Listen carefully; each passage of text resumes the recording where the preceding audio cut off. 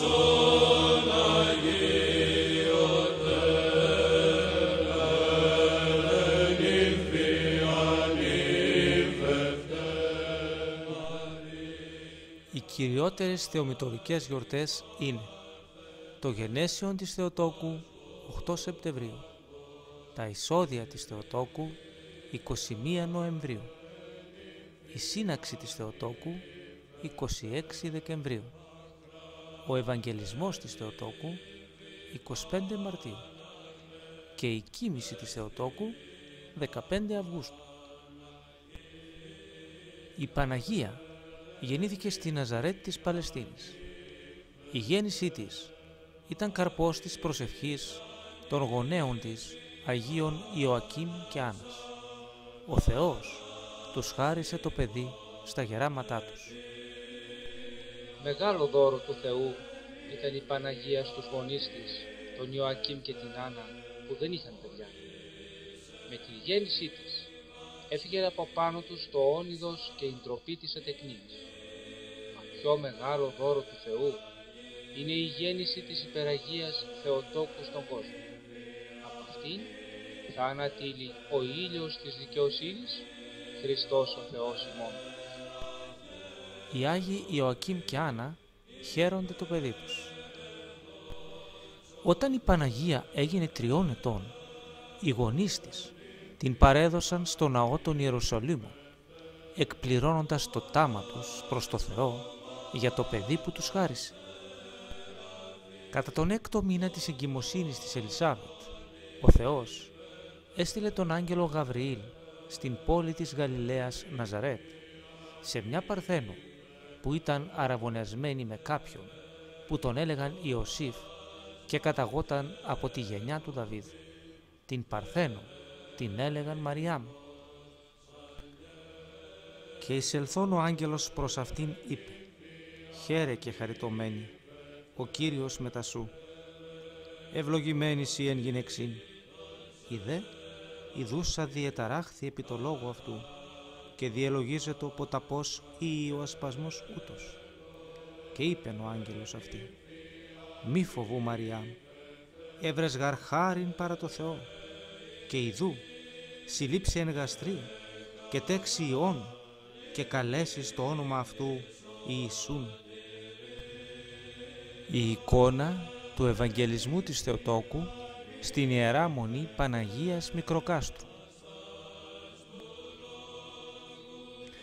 Αμέσως ύστερα η Μαριάμ σηκώθηκε και πήγε γρήγορα σε μια ορεινή πόλη της Ιουδαίας. Μπήκε στο σπίτι του Ζαχαρία και χαιρέτησε την Ελισάβετ. Μόλις εκείνη άκουσε το χαιρετισμό της Μαρίας, το βρέφος που ήταν στα σπλάχνα της σκύρτησε. Η Ελισάβετ γέμισε με το Άγιο Πνεύμα και φώναξε με δυνατή φωνή «Ευλογημένης η εν γυναιξή και ευλογημένος ο καρπός της κοιλίας σου».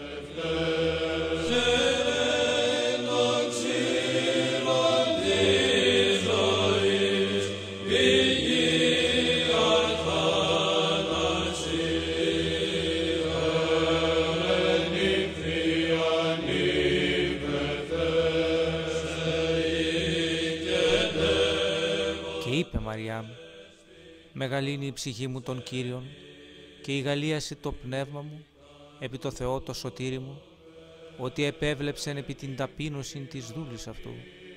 Ιδού γάρ, από του νυν, μακαριώσει με πάσε γενναίε, ότι επίησε με μεγαλεία ο δυνατός και Άγιον το όνομα αυτού. Η Μαριάμ τότε είπε «Η ψυχή μου δοξάζει τον Κύριο και το πνεύμα μου νιώθει αγαλίαση για το Θεό το σωτήρα μου, γιατί έδειξε την ευμένειά Του στην ταπεινή Του δούλη. Από τώρα θα με καλοτυχίζουν όλες οι γενναίες, γιατί ο δυνατός Θεός έκανε σε εμένα θαυμαστά έργα. Άγιον είναι το όνομά Του.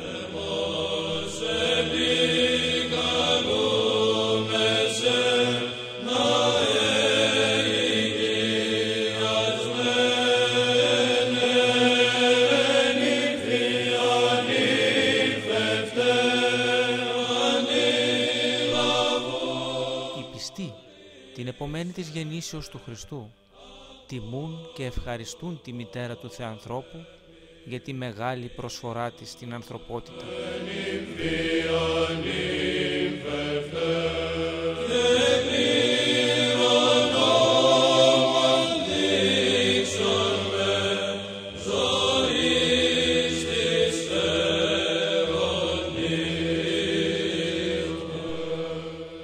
Η Παναγία εκοιμήθηκε ετάφη στη Γεστημανή, στο χώρο όπου προσευχήθηκε και συνελήφθη ο Υιός της. Απόστολοι εκπεράτων, συναθριστέντες ενθάδε, Γεστημανή το χωρίο, κυδεύσατέ μου το σώμα.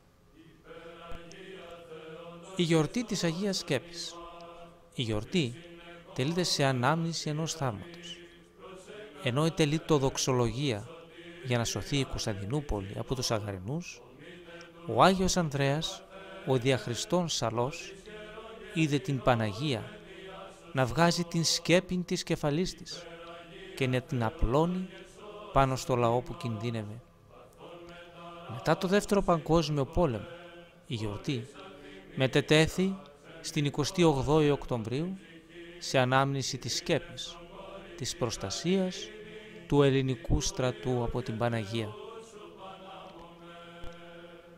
Οι ακολουθίες προς τιμήν της Θεοτόκου είναι ο ακάθεστος ύμνος, ο μικρός παρακλητικός κανόνας και ο μεγάλος παρακλητικός κανόνας.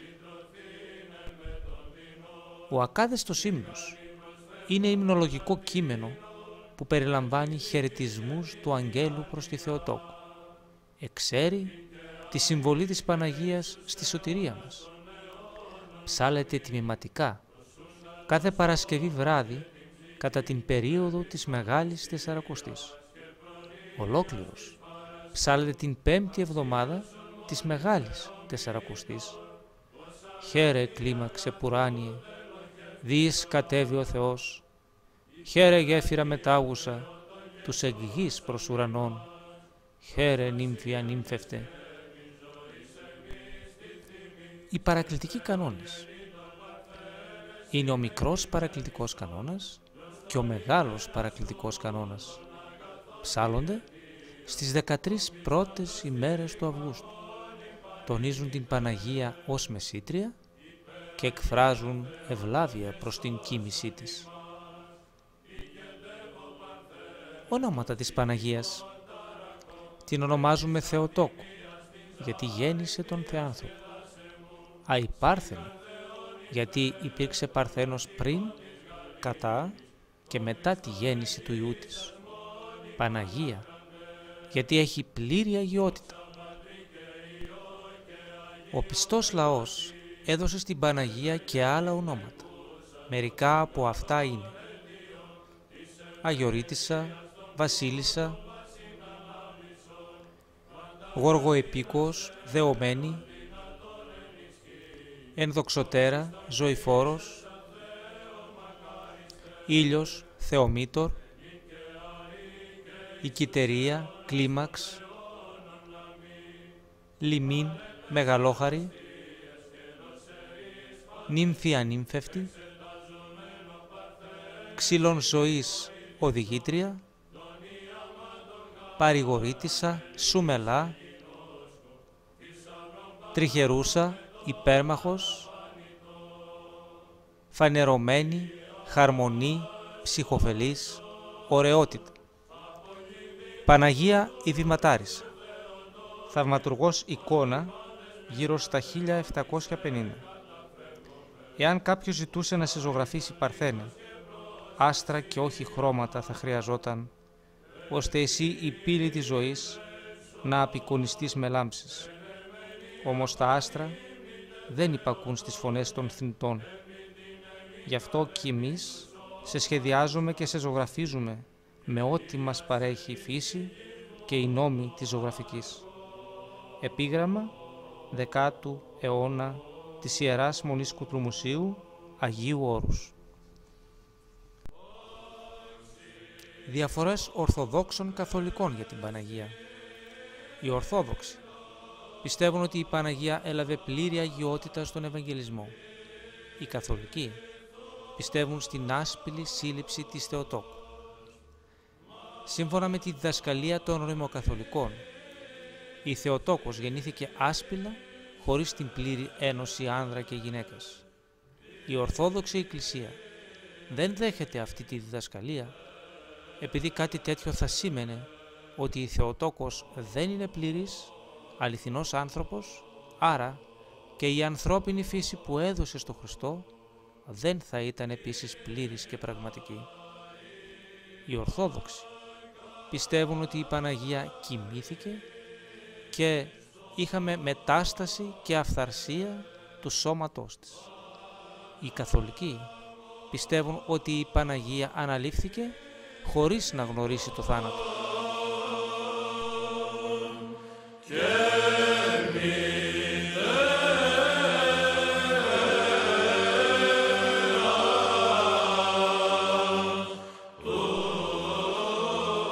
Ευσέβεια του ελληνικού λαού προς τη Θεοτόκο είναι μεγάλη. Η Θεοτόκος έχει συνδεθεί με πολλά γεγονότα του ελληνικού λαού. Πολλές φορές η Παναγία μας βοήθησε. Γι' αυτό οι Έλληνες την τιμούν με κατάνοιξη, με μεγάλη ευσέβεια και τις έχουν δώσει πάνω από 700 επωνυμίες. Η Παναγία τιμάται ιδιαίτερα στο Άγιο Όρος, το οποίο ονομάζεται το περιβόλι της Παναγίας.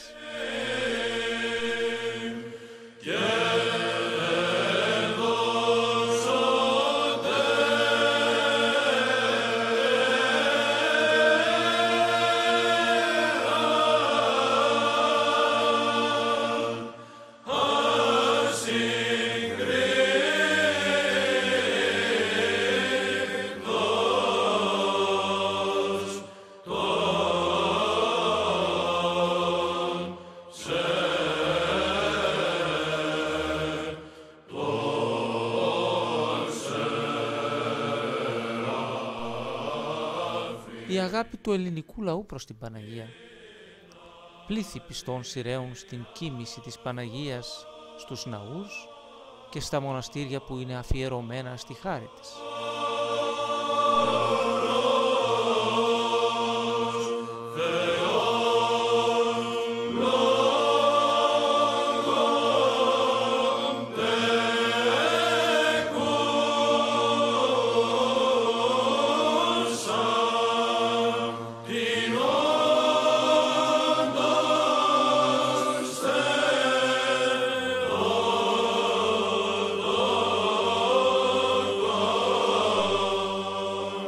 Στην Τίνο, την ημέρα της κοιμήσεως της Θεοτόκου, οι προσκυνητές φτάνουν τους 30.000.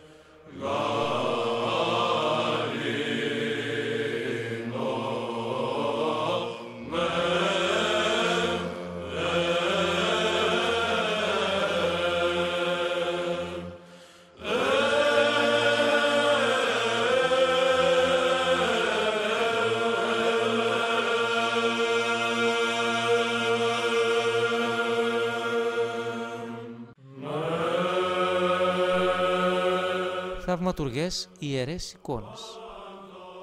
Η Παναγία η Πορταΐτισσα και η Παναγία η Παραμυθία είναι μεταξύ των πολλών θαυματουργών εικόνων της Παναγίας. Η πρώτη βρίσκεται στην Ιερά Μονή Ιβύρων του Αγίου Όρους και η δεύτερη στην Ιερά Μεγίστη Μονή Βατοπεδίου Αγίου Όρους.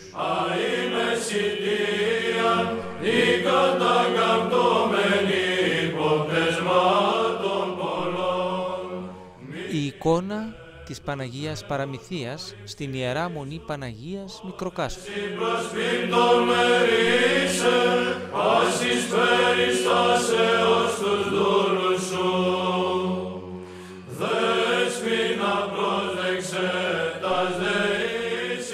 Παναγία η Στυλαρινή.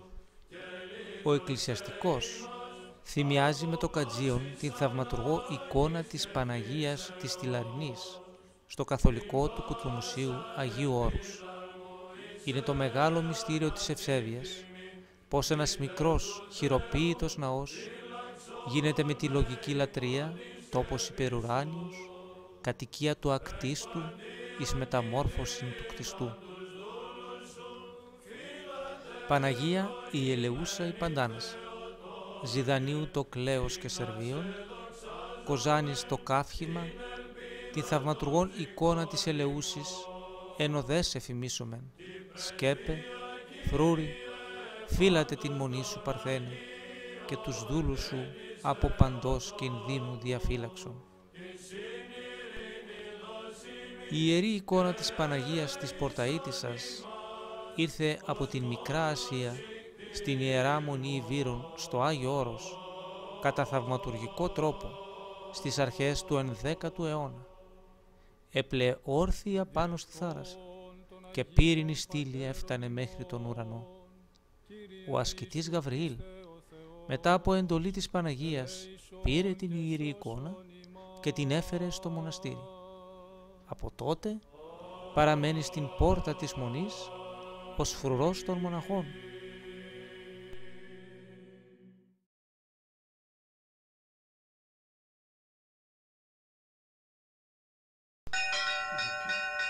Οι βίοι των Αγίων και οι εορτές τους αποτελούν αφορμές για προβληματισμό. Με το παράδειγμά τους καταλαβαίνουμε ότι μπορούμε και εμείς κατά το μέτρο της πίστης μας να ζήσουμε με τον Χριστό με στόχο την αγιότητα.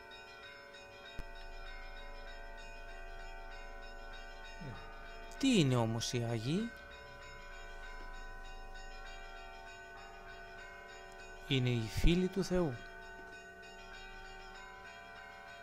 Οι άνθρωποι της αγάπης.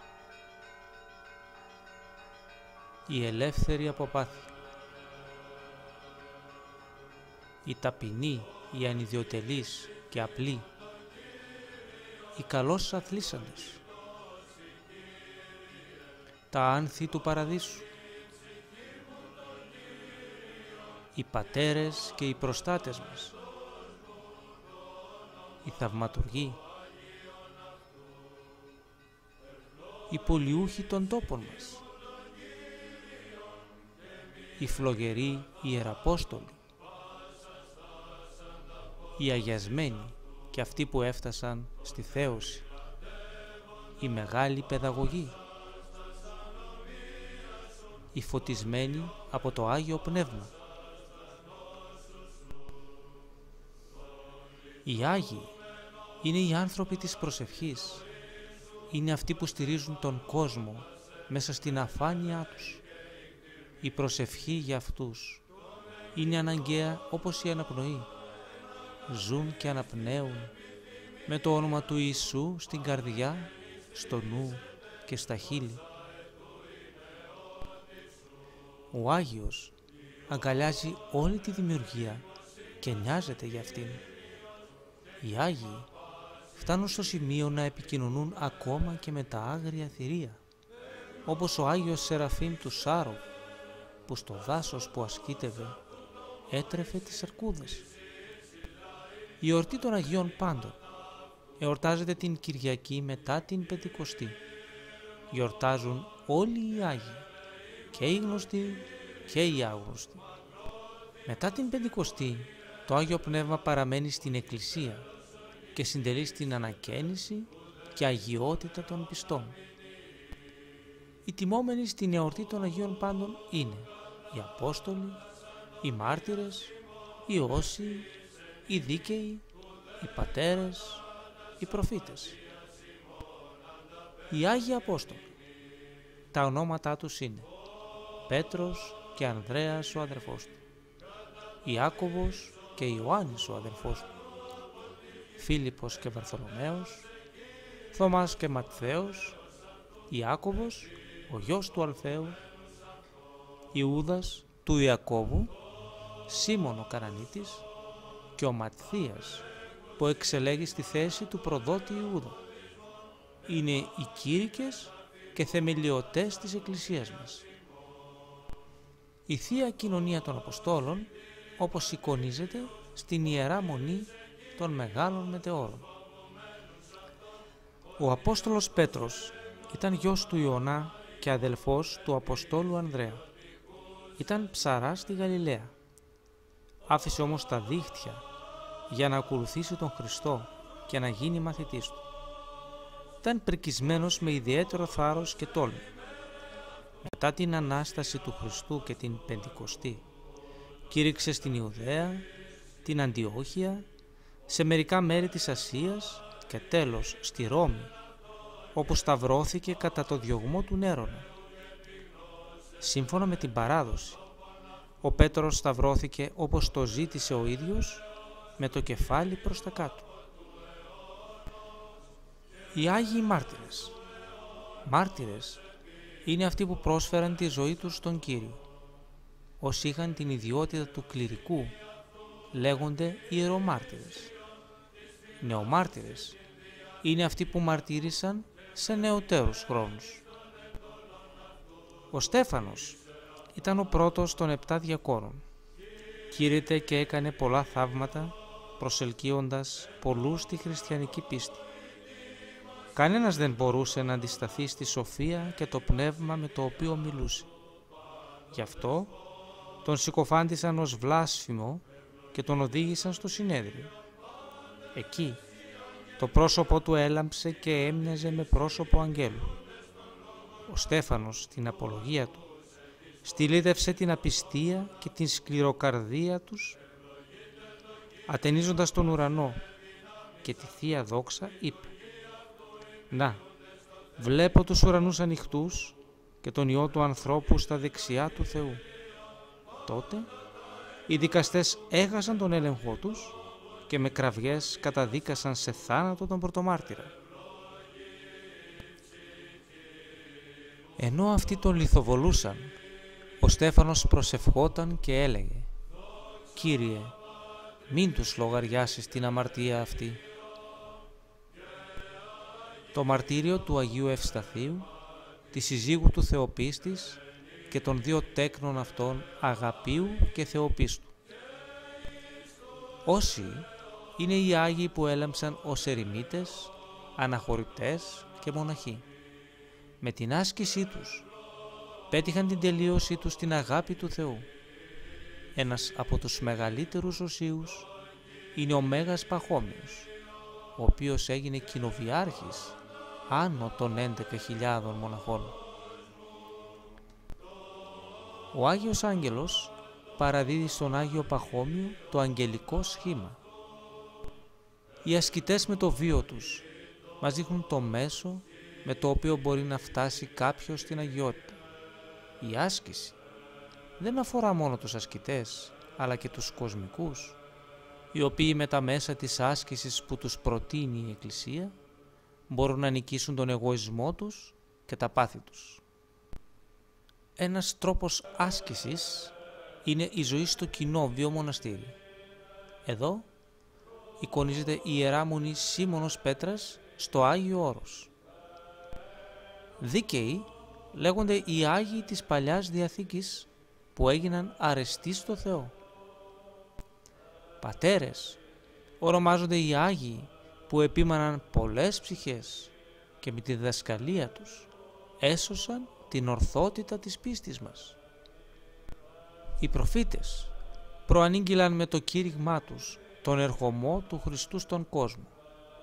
Ο τελευταίος προφήτης πριν από τον ερχομό του Χριστού ήταν ο Τίμιος Πρόδρομος και βαπτιστής Ιωάννης. Ο Ιωάννης υπήρξε σύμφωνα με τον Χριστό ο μεγαλύτερος όλων των προφητών. Μαρτύρησε κατά την εποχή του τετράρχη της Γαλιλαίας Ηρώδη. Ο Ηρώδης θανάτωσε τον Ιωάννη μετά από την επιθυμία της Σαλόμης και της μητέρας της.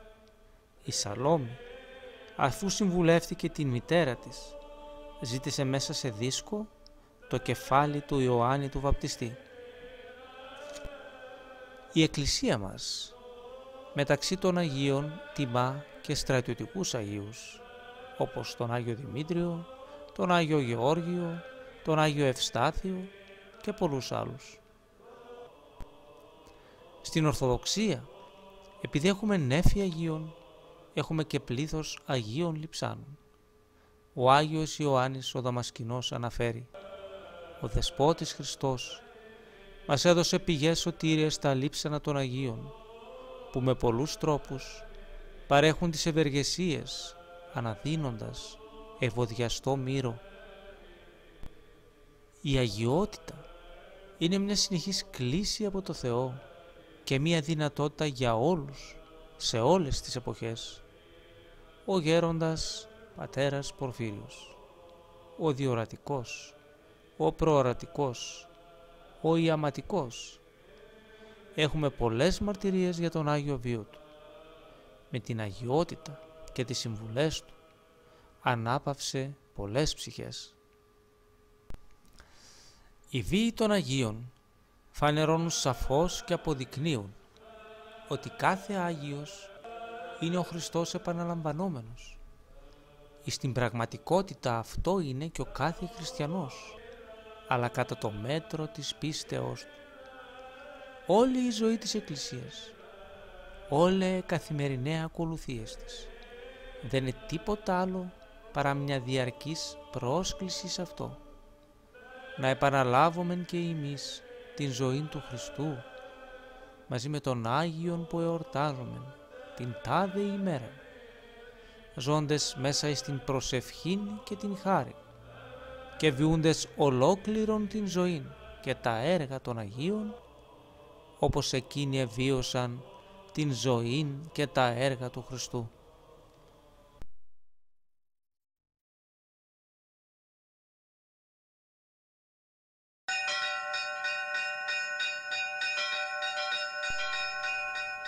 Οι άγγελοι ανήκουν στον πνευματικό κόσμο του Θεού. Τι είναι όμως οι άγγελοι; Οι άγγελοι είναι πνευματικές υπάρξεις, δημιουργήματα του Θεού, αγγελιοφόροι του Θεού, λειτουργοί του υψίστου.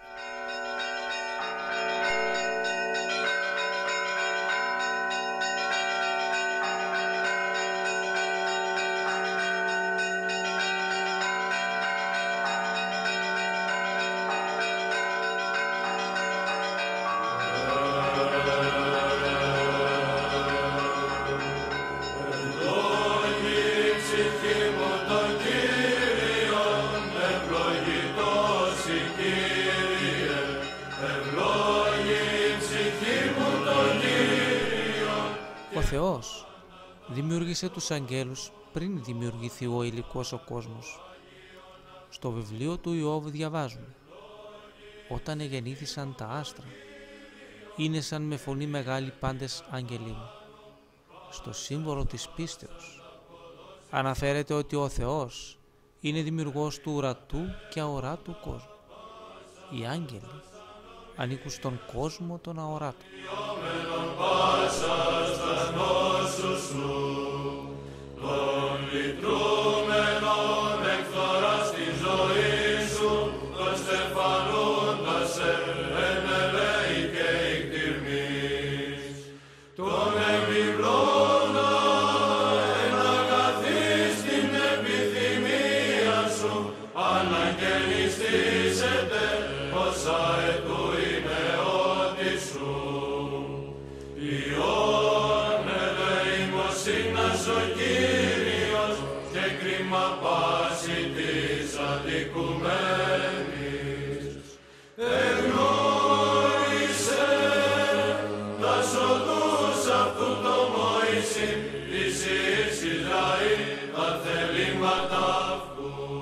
Ιδιότητες των αγγέλων είναι ασώματοι, νοερά όντα, αικίνητοι, αθάνατοι κατά χάρη, ανώτεροι των ανθρώπων, κατώτεροι του Θεού, αυτεξούσιοι.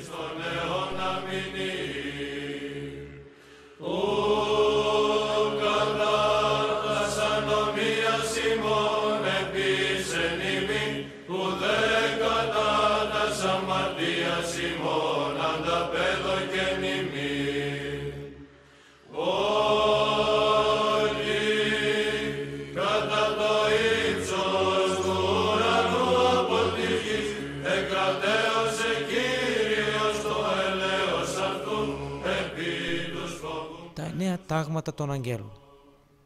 Είναι τα Σεραφείμ, τα Χεροβίμ, θρόνοι, κυριότητες, δυνάμεις, εξουσίες, αρχές, αρχάγγελοι και άγγελοι. Καθώς η πατήριος, ο κτήρισε Κύριος τους φοβουμένους αυτών, ότι αυτός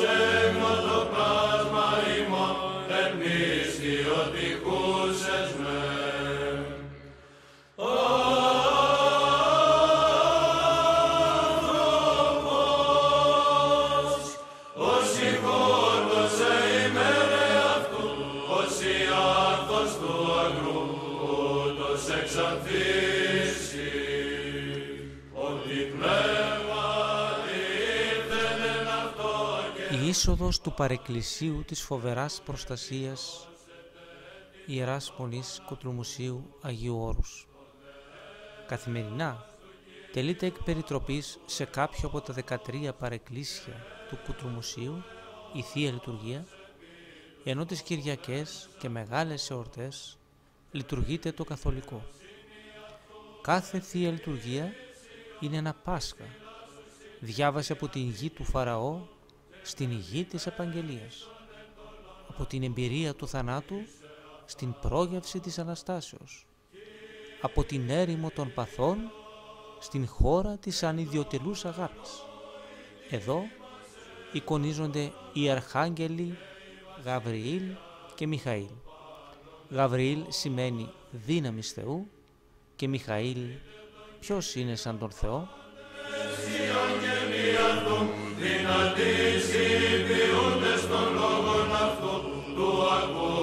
Της φωνής των λόγων αυτού. Ευλογείτε το Κύριο πασέ δυνάμεις αυτού, λειτουργεί αυτού υπηούνται στο θέλημα αυτού. Ευλογείτε τον Κύριο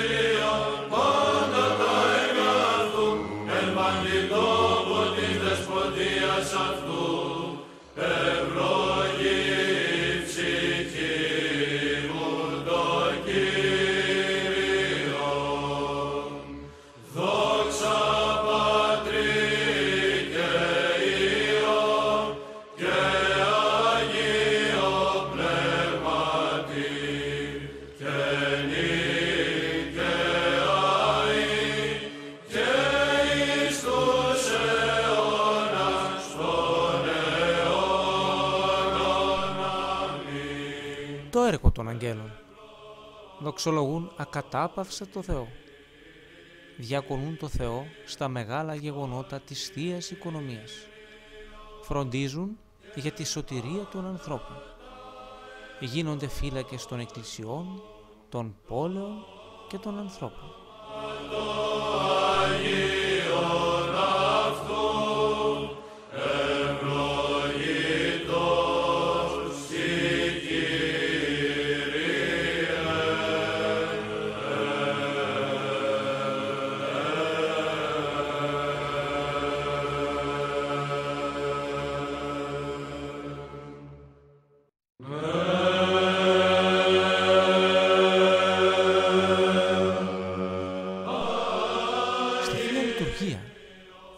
Αναφορά στους Αγίους Αγγέλους.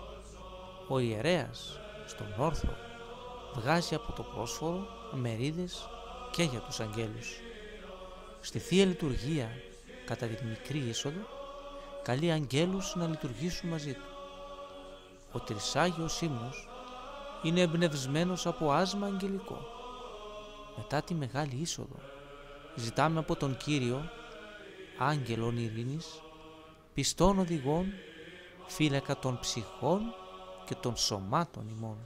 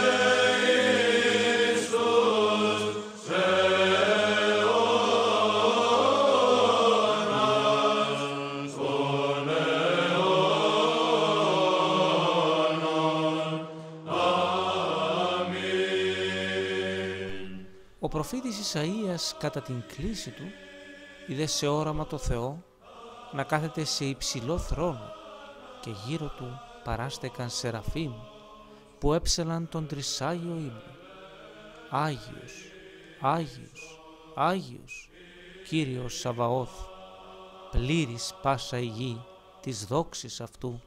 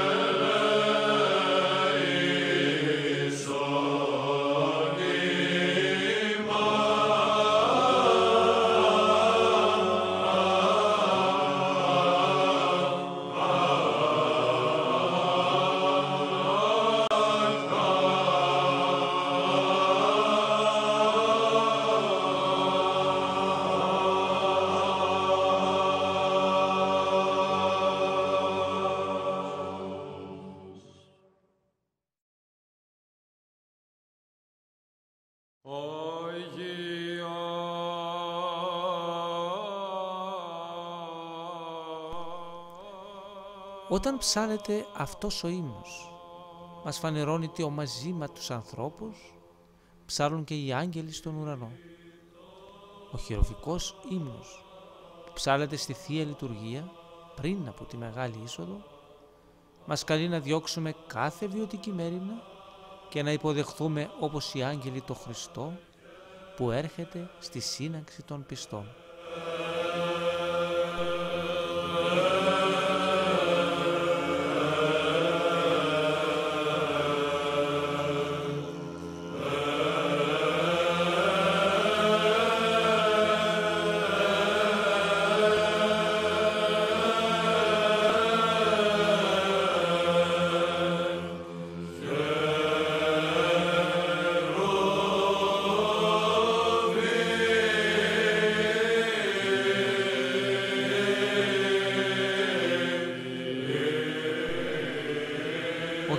Παΐσιος αναφέρει για τον Παπατήχωνα ότι την ώρα της Θείας Λειτουργίας έβλεπε αγγέλους.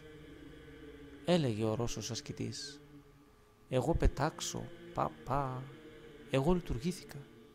Το έλεγα «Τι βλέπεις γέροντα» «Χερουβίμ, Σεραφείμ, δοξολογούσι τον Θεό».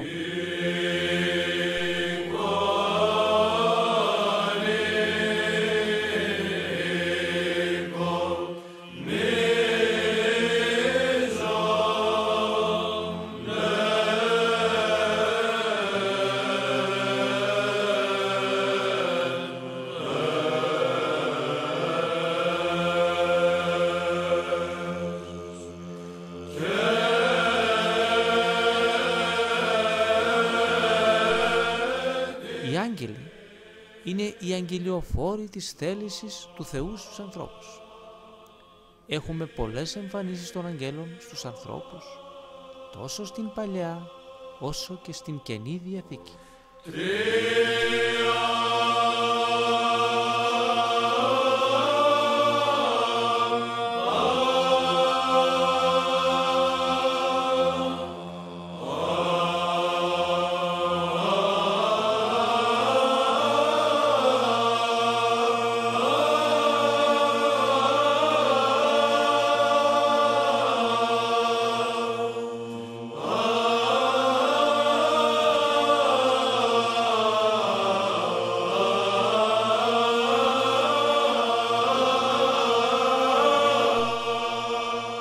Ιωακήμ και η Αγία Άννα σε προχωρημένη ηλικία δεν είχαν αποκτήσει παιδιά. Ο Θεός στέλνει άγγελο να τους πει ότι εισακούστηκαν οι προσευχές τους. Θα αποκτήσουν παιδί. των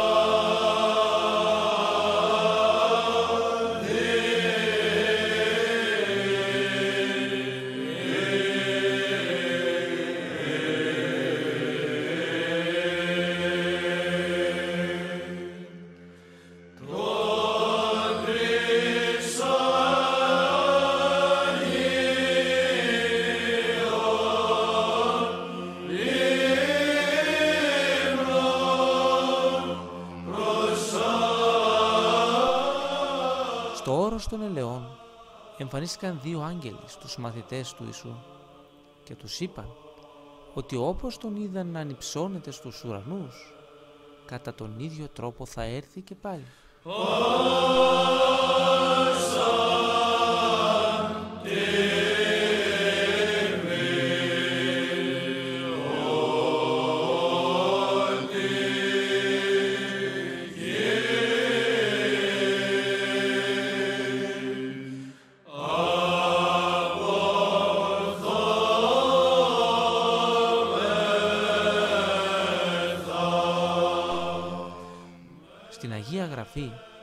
Έχουμε πολλές εμφανίσεις των αγγέλων.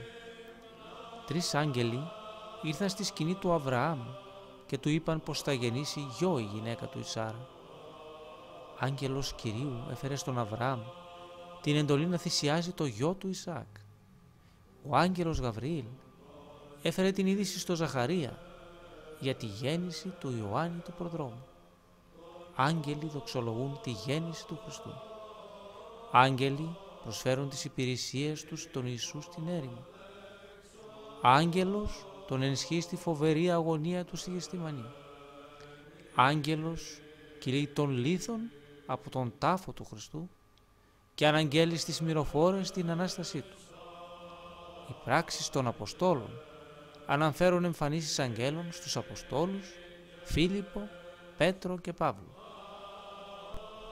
Οι Ορθόδοξοι εκδηλώνουν το σεβασμό και την τιμή προς τους αγγέλους με πολλούς τρόπους. Έχουμε εορτές των αγγέλων, ναούς προς τιμήν τους, τιμάμε τις εικόνες τους, δίνουμε ονόματα αγγέλων, έχουμε ευχή στο φύλακα άγγελο. Η Εκκλησία μας αφιερώνει μια ημέρα της εβδομάδας, τη Δευτέρα, προς τιμή των αγγέλων. Στις 8 Νοεμβρίου η Εκκλησία για να τιμήσει τους θείους λειτουργούς και προστάτες μας επιτελεί την εορτή της σύναξης των Αρχαγγέλων. Εξαιρετικά τιμώνται οι Αρχάγγελοι Μιχαήλ και Γαβριήλ, μια και ονομαστικά αυτοί αναφέρονται στην Αγία Γραφή. Άγιε Άγγελε, ο εφεστός της αθλίας μου ψυχής και ταλαιπώρου μου ζωής, μη εγκαταλείψει με των αμαρτωλών, μη δε αποστείς απεμούδια την ακρασία μου, μη δώσεις χώρο το πονηρό δαίμονι, κατακυριεύσε μου την καταδυναστία του θνητού του του σώματος, κράτησον τις αθλίες και παρημένης χειρός μου και οδήγης όλων εισοδών σωτηρίας. Ναι, Άγιε Άγγελε του Θεού, ο φύλαξ και σκεπαστής της αθλίας μου ψυχής και του σώματος, πάντα μη συγχώρησον, όσες η έθρυψα πάσα τις ημέρες της ζωής μου, και ή τι ήμαρτον της σήμερον ημέραν, σκέπασον με την παρούση νυχτή, και διαφύλαξον με από πάσης εμπειρίας του αντικειμένου, ή να μην εντείνει αμαρτήματι παροργήσω των Θεών, και πρέσβευε υπερεμού προς τον Κύριον, του επιστηρίξε με το φόβο αυτού, και άξα να δείξε με δούλον της αυτού αγαθότος. Αμήν.